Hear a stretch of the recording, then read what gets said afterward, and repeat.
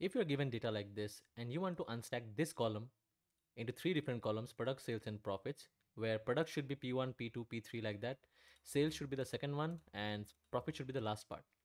So how can we do it?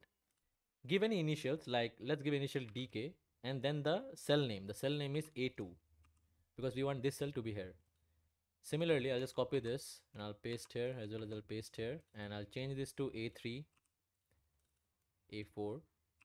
Do the same for this and this one will be A5, A6 and A7.